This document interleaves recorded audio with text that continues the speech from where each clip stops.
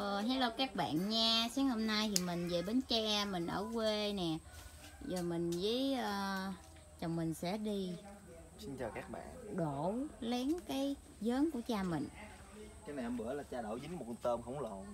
Bữa nay mình xuống mình canh, mình gình trước cha mình đổ dính một con tôm càng xanh thật là to. Này để anh. Cẩn thận nha. Để anh thể hiện cho em xem.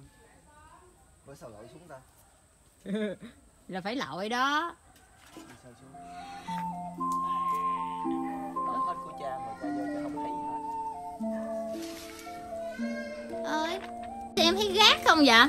Chưa. Số anh là số nhỏ. Ê, anh anh thấy có cái gâu ở cái càng gì vậy tưởng tượng tưởng tượng. Lội luôn. đó. Lội được không? lội mới dở được chứ. Chồng mình hôm nay làm bắt nông dân đội xin ờ em thấy được một con cá rồi nha. Có tôm không? Có. Tép nhóc rồi em ơi hả? Tép nhóc luôn đã đã đã đã. Khoái khoái. Wow nhiều không? Wow mình vô mình sẽ chế biến món ăn sáng luôn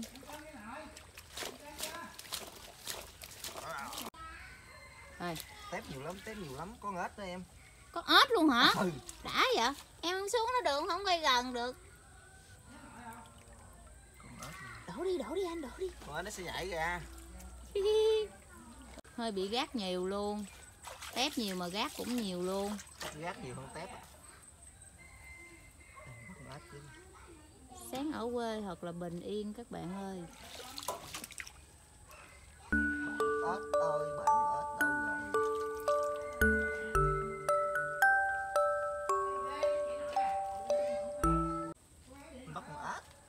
ếch bự không? Nhỏ. Ờ, ếch nhỏ thả luôn đi bắt nó ra. Mình trút ra nó nhảy ra chứ gì? Bắt cho các bạn xem. Mình sẽ phóng to lên cho các bạn xem.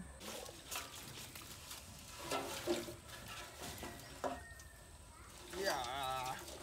sáng nay wow nắng sáng đẹp quá. Wow. Wow quá trời tép luôn. Còn sót nữa cứ mấy con mà cũng sống. Con ếch con các bạn ơi thả nó Thả đi. luôn. Phóng sang rồi nó luôn. nhảy một cái tới đâu? Nhảy xa lắm á buông rồi một hai ba. hai ba. Bye nó bye nữa. wow. Cát nhiều hơn cá tép rồi các bạn ơi. Sáng hôm nay bị hất thu rồi.